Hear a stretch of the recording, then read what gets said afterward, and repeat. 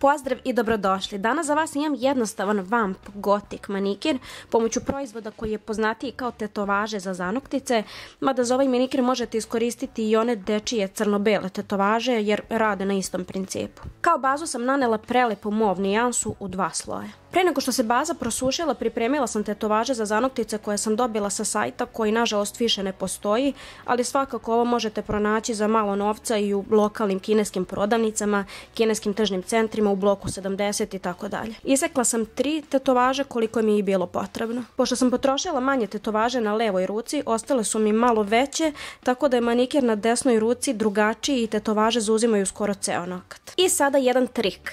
Sa nekim oštrim predmetom odredite liniju savijanja papirića na kojem je tetovaža kako biste kasnije lakše centrirali na noktu. Nikada ne možete centrirati dovoljno dobro kada papir nije providan i kada ne vidite crtež, ali ovaj trik će vam dosta pomoći. Zatim uzmete papirić i prislonite tako da linija na kojoj je papirić savijan prolazi kroz centar nokta. Uzmete parče vate ili tufera, umočite u vodu i prislonite na nokat nekih 15 sekundi.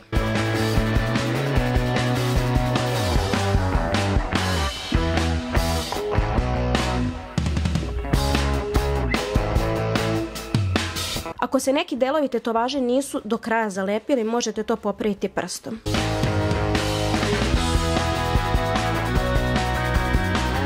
Na domalom noktu sam deo iznad luka ispunila crnim lakom kako bih krajnji rezultat bio zanimljiviji.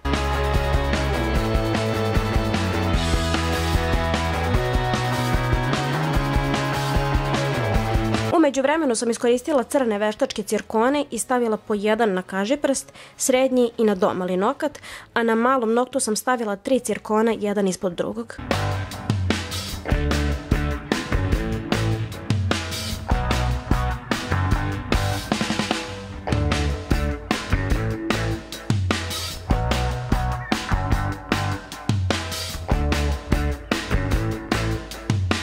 Za kraj nanosim nadlak koji sam nanosila dva puta jer su prvi sloj nadlaka tetovaže potpuno upile pa je manikir izgubio sjaj. I to bi bilo sve, hvala vam puno na gledanju, prijavite se na moj kanal ukoliko niste do sada i obavezno posjetite moj blog bydaniela.com ukoliko vas interesuje bilo šta što je vezano za negu i ukršavanje prirodnih noktiju, a mi se vidimo već u sljedećem videu. Ćao!